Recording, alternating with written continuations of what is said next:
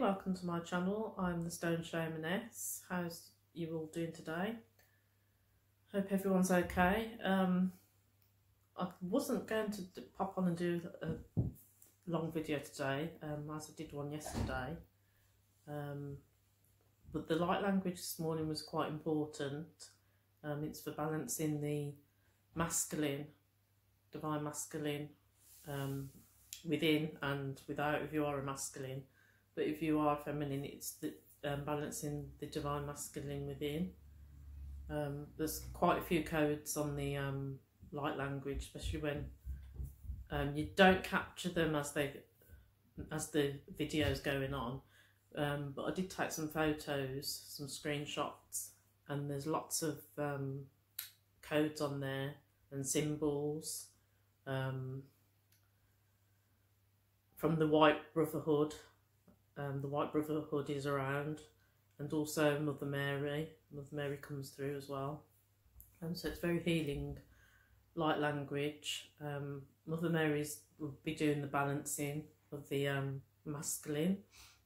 Um, I collaborated with my friend. She's um, decoded some of the uh, symbols in the light language, so I had to hop on um, and let everyone know um, what the light language was about. Very high vibrational um, light language coming through, um, very healing, and it's really important.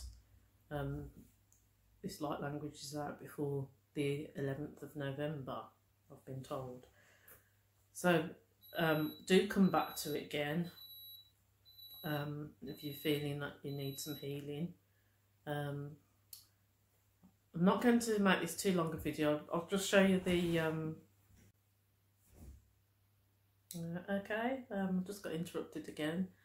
Um, this is why it's best to do these videos earlier, and it's getting dark, so I really want to press on. Um, where was I now? Well, anyway, I'm going to show you a close-up of the um, Mother Mary grid, which is behind me and it is actually in the shape of the code um, that my friend channeled for me. Um, so I'll show you close up of that in a second. And I think that's it. I just wanted to let you know that it's um, the light language has the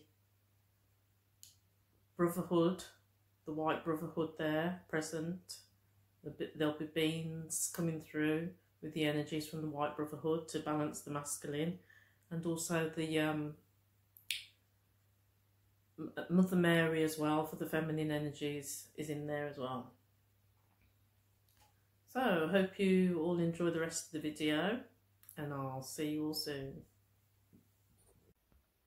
Okay, this is my lovely Mother Mary grid. It's a shame it's dark now. Um, so the, you haven't got very good vis visibility. Um,